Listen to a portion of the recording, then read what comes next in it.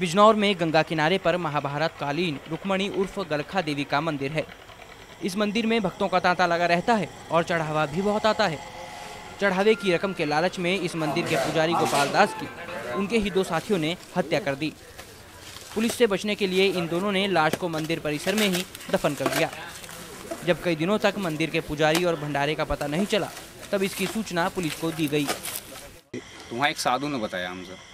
Police इस तरीके से वहाँ गलखा पर लाठी चल गई एक साधु में तो हमने क्या भाई लाठी चल गई कैसे? बोले ऐसे झगड़ा हो गया कुछ।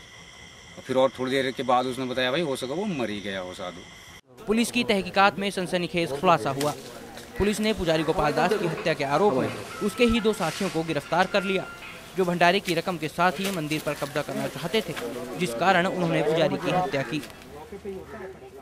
एक और साधु ने थाने पे आके इस बात की सूचना दी कि इस इस तरह से एक गोपाल दास नाम के साधु हैं जो गायब हैं और उनको इस बात की आशंका है कि बाकी दोनों जो साधु हैं उन्होंने उसकी हत्या कर दी।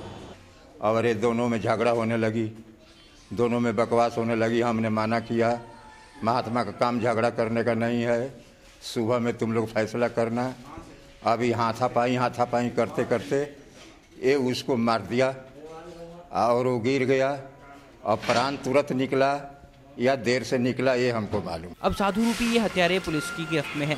इन्हें मंदिर तो नहीं मिला और हाँ अपनी करतूत के कारण अब इन्हें मंदिर जेल की में तीन संतों में झगड़ा काटना होगा। बिजनौर से सरफराज खान जानो दुनिया।